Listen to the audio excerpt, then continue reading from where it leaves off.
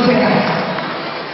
Lindos todos, gracias por venir a compartir con nosotros nuestra hermosa música.